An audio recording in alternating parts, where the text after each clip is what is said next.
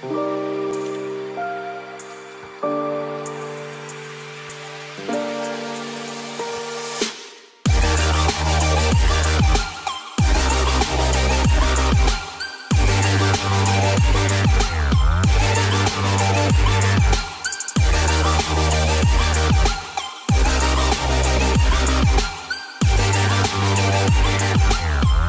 that you're with us today. So glad that you're with us today. I'm, I'm always honored when I can testify that I've been in the presence of God. That, that's a place of privilege. I don't care how you slice the pie. If you can ever sense the presence of God in your atmosphere, wherever you are, it is a privilege to be We're in rare air right now. It's a privilege to be here. Glory to God. Luke chapter number 13. Luke 13. Let's see what we can pull out of the text today. Beginning at verse number 10. I'm going to be reading out of the NRSV version. And here's what the word of the Lord would say to us today Luke 13, verse number 10. Now he was teaching Jesus in one of the synagogues on the Sabbath. And just then there appeared a woman with a spirit that had crippled her for 18 years. She was bent over and was quite unable to stand up straight.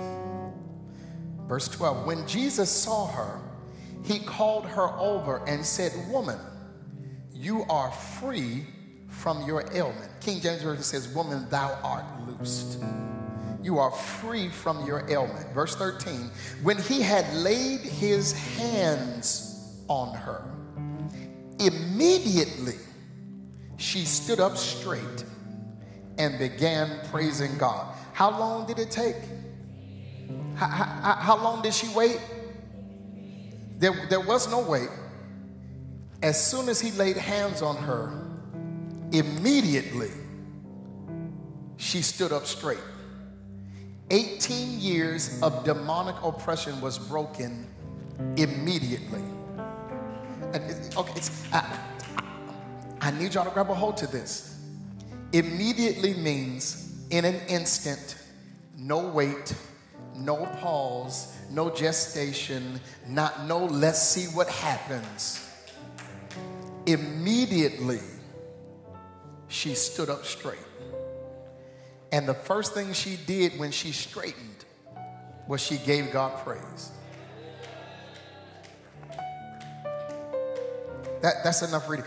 Just, just for a few moments today, and, and, and I'm, I'm going to try to truncate this because, yeah, it's 11 o'clock already. I, am going to try to truncate this. I, I want to preach this subject a twisted perspective.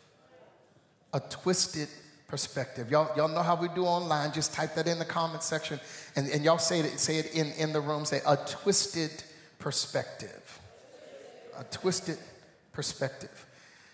It, it's important for us to gain a good working understanding of why this text is so vital to not just where we are, but also where we're going. What God is about to show us in the earth requires that we see it right, that, that we have a right perspective. It, it's important for us to know, he, right, right at the onset, this is important for us to understand that until we acknowledge that we have a twisted perspective, we can never really adjust or be adjusted to a right perspective. I say that again. The first thing I have to do, if I'm going to get fixed, I have to acknowledge that something is, is amiss. Yes? So, so we, we have to understand then in, in this particular context that one, we probably have been seeing some things twisted. And, and it, it's important to note that it's not just in our modern day context. In the Old Testament, the Bible talks about the fact that um, in, in Isaiah 55, verses 8 and 9. Here's what it says uh, God says through Isaiah, He says, My thoughts are not yours. As far as the heaven is from the earth, that's how far apart our thought processes are. Then he says, My ways are not your ways. As, again, as far as the heaven is from the earth, we don't think the same, we don't operate the same, and the truth be, be told, we probably don't see the same. It, it, it, shows us that there is literally a cosmic difference between how we think and how we operate, and how God thinks and how He operates. Now, this is important because this same Isaiah, who spoke in Isaiah 55, the word of the Lord, that we don't think the same, also had to acknowledge that he had a perspective problem in chapter number six of that same book. Because he says, In the year King Uzziah died, I saw also the Lord.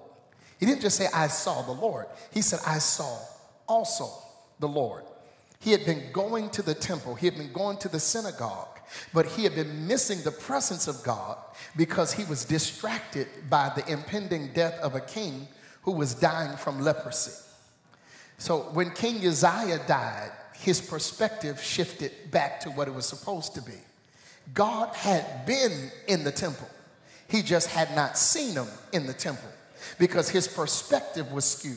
And the question that we have to ask ourselves is what have we been missing from a twisted perspective? What have we not seen from a twisted perspective? Because the truth of the matter is, if I see it wrong, I'll actually do some things wrong. Can we be honest? In this modern day vernacular, right now, what we're dealing with today is a whole bunch of people who have twisted perspectives. Over this last week, there was another school shooting, and parents with twisted perspective gifted their 15 year old son a gun. He clearly was unstable. And they gave an unstable kid a gun. When he was found, listen to this, to have some twisted perspective sitting in class, the parents were called and told, Your son ain't seeing this right. And the parents said, Oh, just leave him. The, the, the, the school said, Just take him home for the day. If the parents had seen it right, four kids would still be alive. Seven others wouldn't be in the hospital right now. But that's what happens when you have a twisted perspective. If we're honest, a twisted perspective had people who were in law enforcement on January 6th storm the Capitol. How are you a defender of justice and you breaking the law? But when you have a twisted perspective, you'll do twisted things. Okay. A twisted perspective and I'm, and I'm, try, I'm gonna try to move, but I need y'all to understand how bad it can get. A twisted perspective in, in this pandemic that we're still dealing with. We got Omicron that just, that just uh, 12 or 14 cases now, I think it is, in America. And you have people who are going to COVID parties to try to build up immunity instead of just wearing a mask and getting vaccinated. It makes no sense. And they, they, they, just documented a man who went to a COVID party to try to build up immunity, died from the disease he was trying to become immune from. But that's what happens when you have a twisted perspective. Now, let, let me be clear. I'm not telling you you've got to get vaccinated. But I'm telling you, science tells us at this point it's best that you do. Simple. And if you don't, wear a mask. Protect yourself. But for, for God's sake, don't go to a COVID party. But these are the things that people are doing now because their perspective is skewed. Now, we have to be honest because some, sometimes our perspective gets skewed because of life. Is, is there anybody else in the room who's gone through a season where you didn't see it right because life hit you in the mouth? And I know I said mouth, M O U F, I'm in it. When life smacks you in the face, sometimes you, you kind of lose your perspective.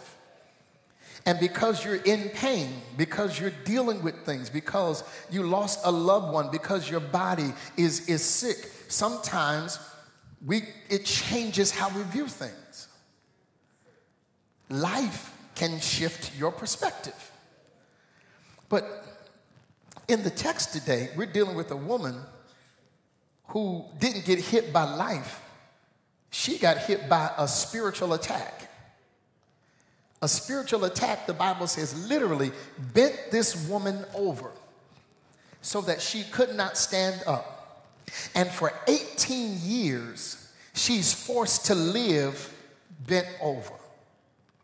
Can you imagine every day trying to function and your body is stuck in a position is not supposed to stay in? 18 years bent over. And here's the problem if you're bent over forward, in order to see anything right, you have to contort and twist your body in order to see things from a proper perspective. Can you imagine that after a year or so, she probably said, This is probably my lot. And she adjusted to the pain, she adjusted to the position, and she adjusted to the perspective. And for 18 years, she's living her life bent over. Every interaction twisted. Every conversation twisted. If she has kids, her relationship twisted. If she has a husband, that relationship is twisted. If she has friends, that relationship is twisted. Because she's been forced by demonic oppression to, to take on a posture that is not normal. The truth of the matter is, some of us, if we're honest, have adjusted to some twisted perspectives. And because we've seen it that way for so long, we believe that that's the way it's supposed to be seen. But I'm here to make a prophetic announcement today that God is about to help you look up. Do me a favor, just, just elbow your neighbor real quick and say, You're about to look up. You, you, you've been looking down, you've been seeing nothing but feet and dirt and debris. You, you've been seeing it wrong, but the Lord sent me here today to help you understand that what you learn to live with is about to be undone. I feel the Holy Ghost right there. I know you adjusted to having a twisted perspective. And I know you adjusted to people seeing you like that. But it was never God's intention that you live your life bent over. it's interesting to me because there is something that there's a lesson that we can learn though from this woman. Because not only is she bent over, but the, but the Bible gives us really good indicators that she didn't stop worshiping even though she was bent over. She kept going to church bent. She gets delivered in her routine of worship. Okay, y'all, y'all got to grab a hold to this. She 18 years didn't make her stop loving God. Now, I, I mean no harm. Some of us, we deal with a two week affliction and we start blaming God. This woman dealt with 18 years of being bent over. And, and, and listen, I, I, understand. Listen, I, have I've had some really severe cramps. I've had major surgeries. I know what it's like to be in a debilitating position and to deal with pain long term.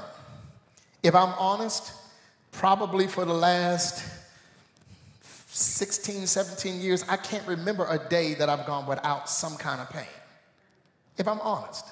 But guess what I learned to do? Adjust to it. It was never God's intention that we adjust to pain. It was never God's intention that we adjust to being bent over.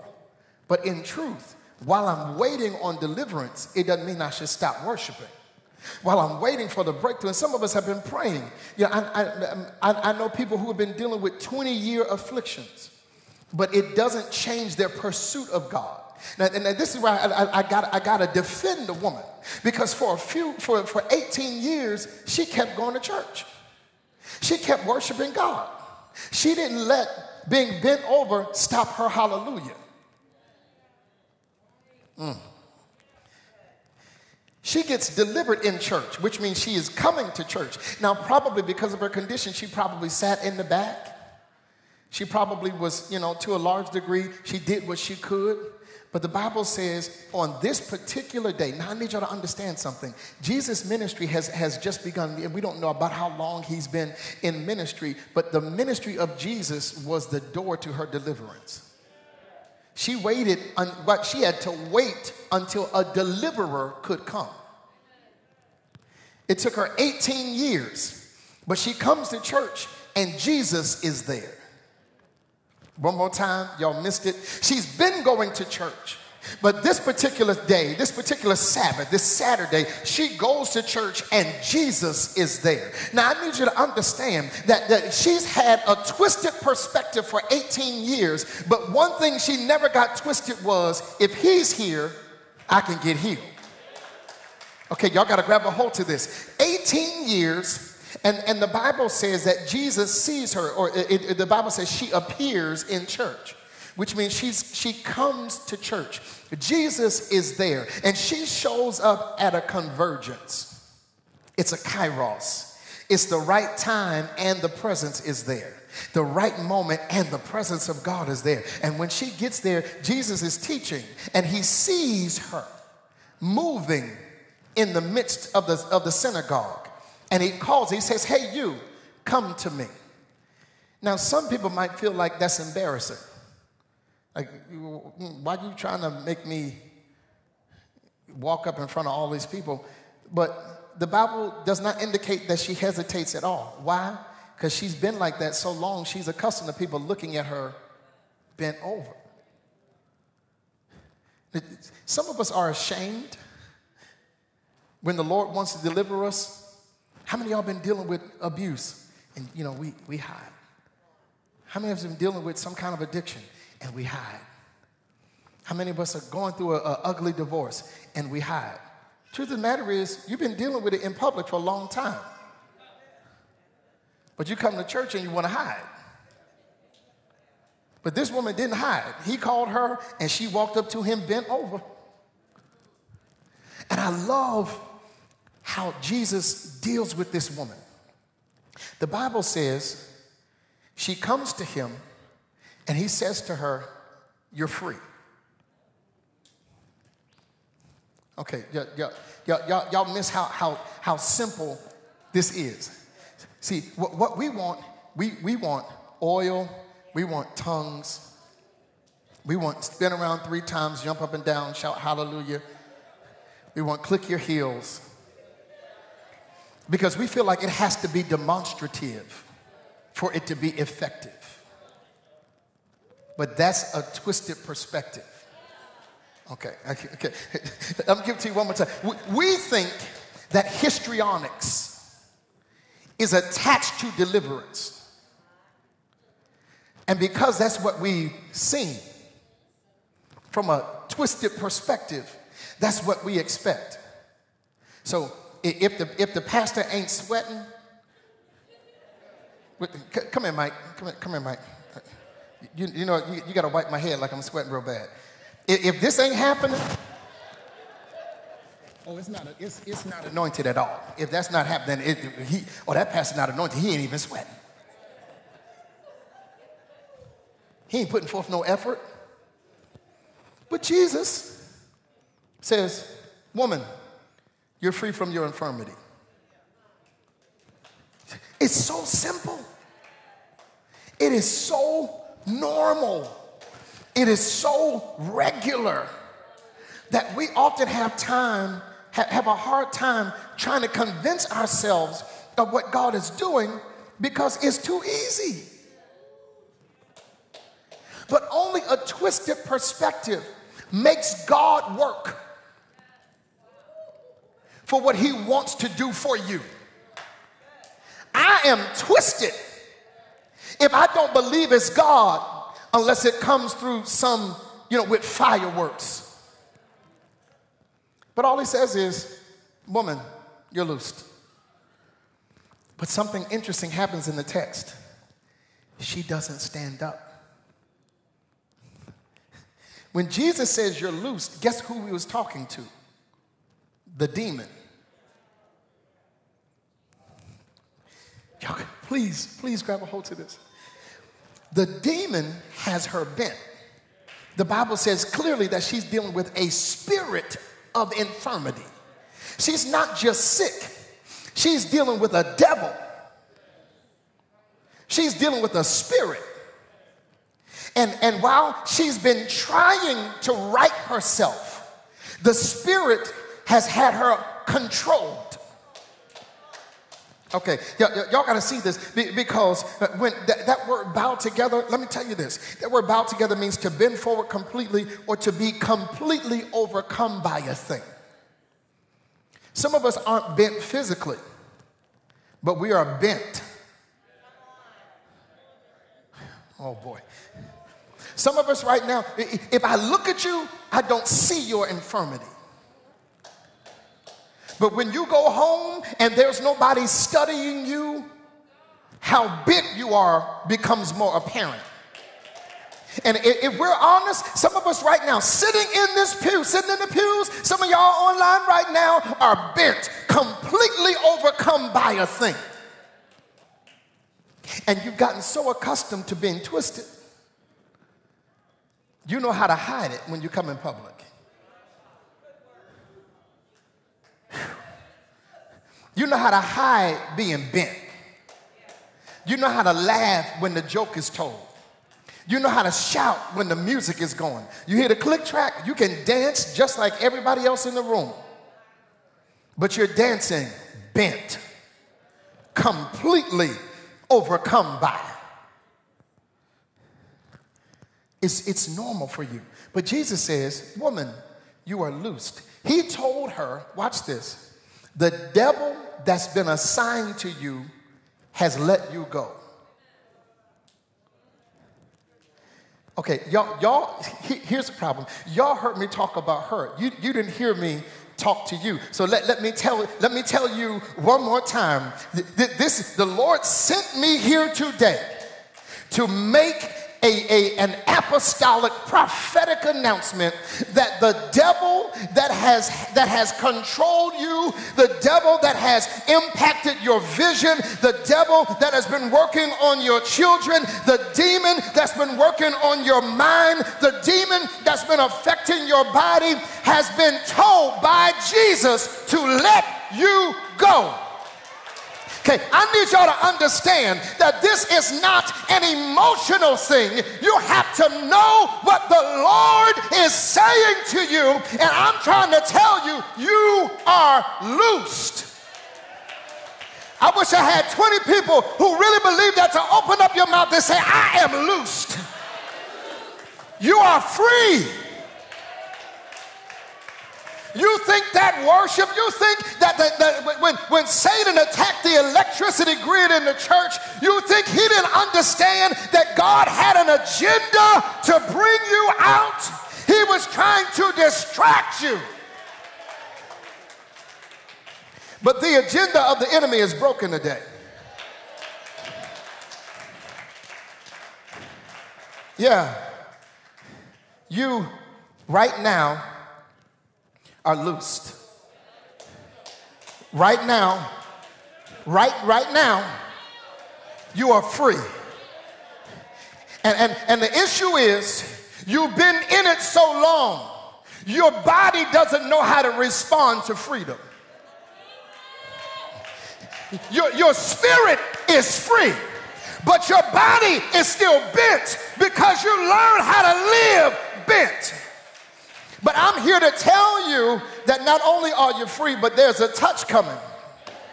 Good God Almighty. God is about to touch you. He's about to, Jesus is in this room right now.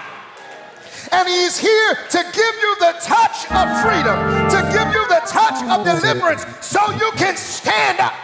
God is about to take the bend out of your life. Good God Almighty.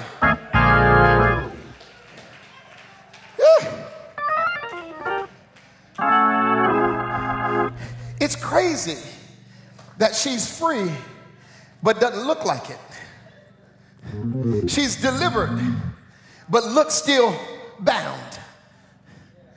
It, it, isn't, it, isn't, it, isn't it annoying how you can come to church, you know you heard from God, but you don't feel nothing? Am I, am I the only one who, who's ever, you know, you, I mean, the word is, it's a prophetic word. It's right down your street. You're like, oh God, you, you came to my address today. This is a word with my DNA marker on it. Am I the only one that's been in a situation like that? But then it's like, but am I free? Did he really, did he really break me out of this? But look at the text.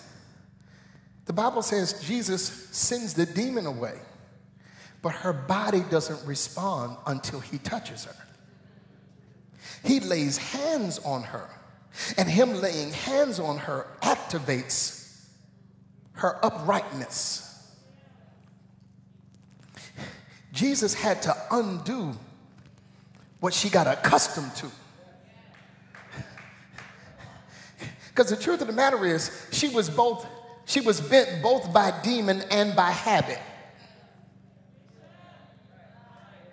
Okay, let, let, me try it again. She was bent by the demon, but she also was bent by habit. Jesus touches her to break her habit.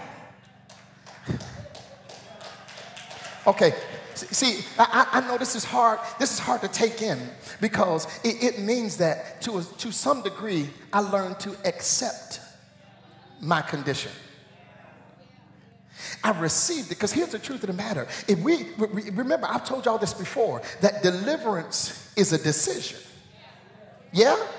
Y'all, y'all remember? Please tell me you remember that because this is important. Deliverance is a decision. I can't be delivered unless I decide I want to be delivered. I don't care how many people lay hands on you. If you're in love with your condition, you are not going to be free from it. I don't care how many, how much oil you can be. You, the oil can be poured until your socks are drenched, and it won't matter if you are in love with the thing that's oppressing you. Deliverance is a decision, and until you decide to get delivered, you are going to be bound. So here it is. Jesus understands this woman doesn't want to be like this, but she is so accustomed to being like this that now I have to break her habit, even though she's no longer bound.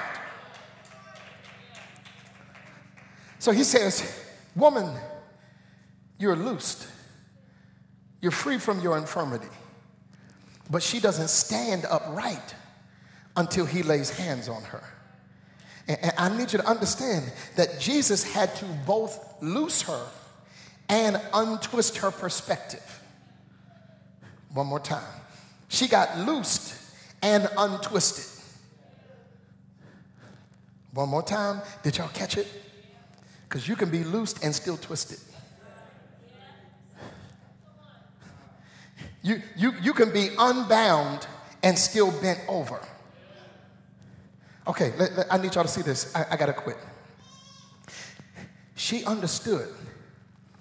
Watch this. We know that faith comes by hearing, hearing by the word of God. But if you, you got to back up to really get the, the, the, the real power of that message. It says, How can they hear except there be a preacher? So faith comes by hearing and hearing by the word of God, but I, I have to be positioned to hear in order for my faith to grow. Yes? And when I'm positioned, then I need somebody who is authorized to actually say that word in order to actually activate my faith.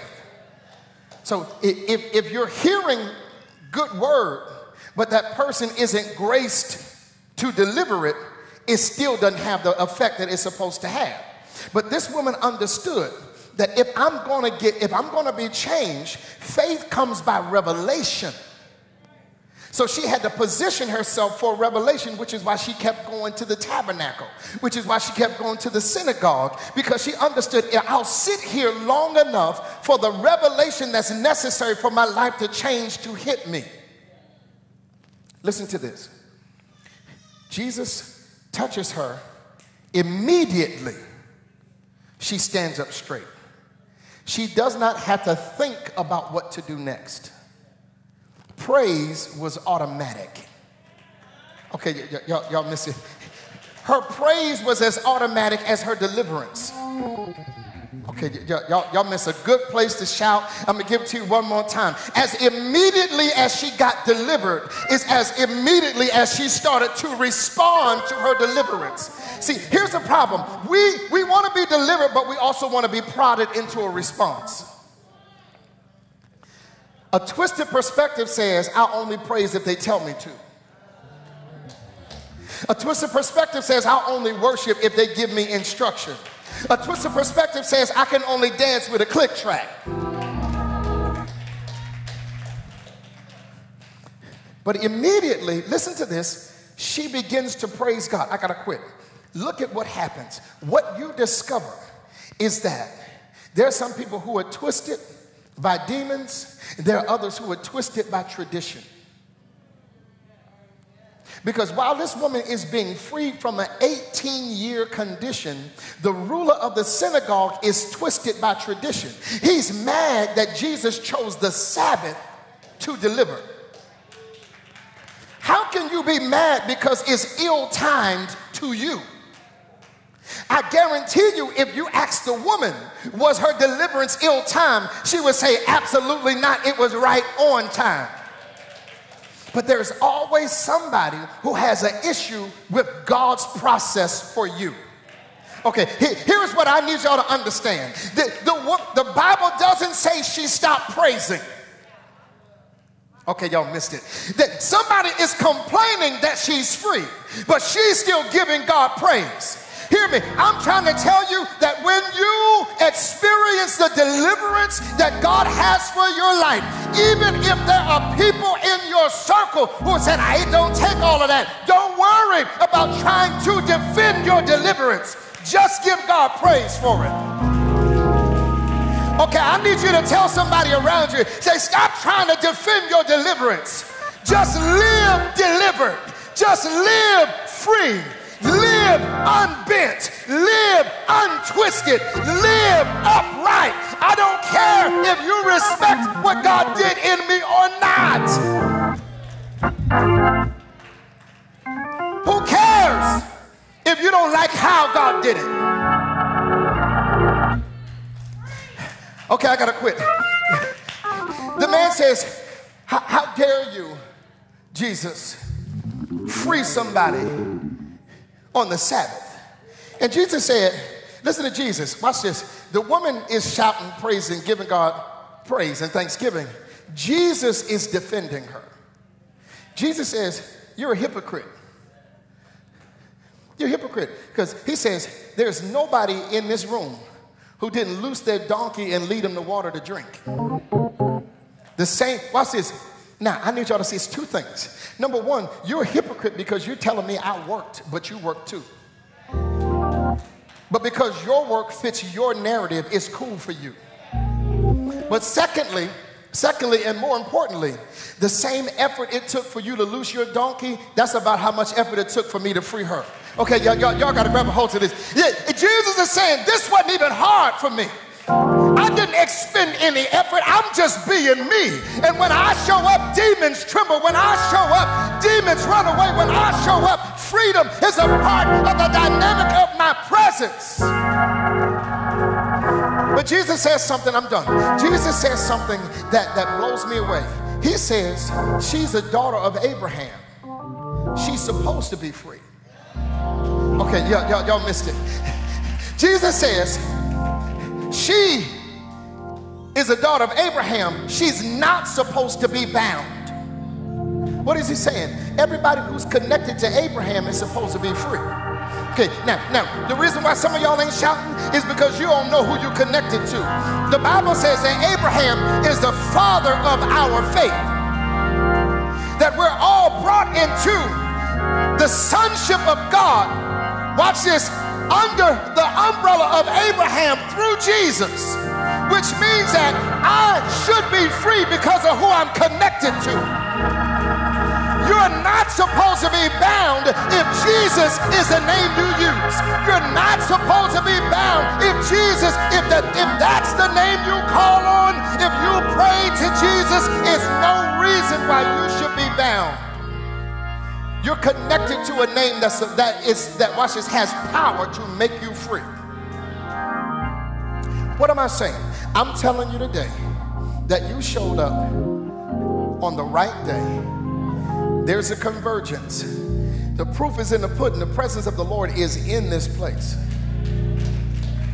And I'm here to announce I don't know who you are, but I'm here to announce to you today that are loosed, you are free, and your perspective is being untwisted. God is giving you a right perspective. He's watch this, speaking to your ear so your eyes can correct itself. What, what, what does this mean? It, it, means, hear me, this is what the Lord told me. He said, I need you to, I need you to know, son. Said, when you go to church on Sunday, he said, I'm going to have you lay hands on people. Now, I know we're in coronavirus, and know we got our protocols, and I know we ain't supposed to be touching people, we ain't supposed to be close to people, but, but the Lord said there is an activating ingredient in laying hands. And here's what I'm not ever to do I ain't never to be scared to do what the Lord told me to do. Never, ever. Now, if if you're not able to be here, I want you to extend. I'm gonna pray for. I'm gonna pray for our online community first because you're not able to be here in the building. And I want everybody to straight, like just point at one of the cameras because in this moment, there are people right now who need a virtual touch. So we're sending the power of the Lord Jesus to your house. We're sending it to your house, to your job, if you're sitting in your car, wherever you are, we're sending the power of the Lord to you now, and in the name of Jesus, we declare, according to the word of the Lord, that not only are you loosed, but you are upright. Not only are you free, but you have a right perspective. Not only are you free, but that thing that has been having you bent over, that has been controlling your life, we cast it out in the name of Jesus. Somebody say it is so. I need y'all to say it like you mean it. Say it is so.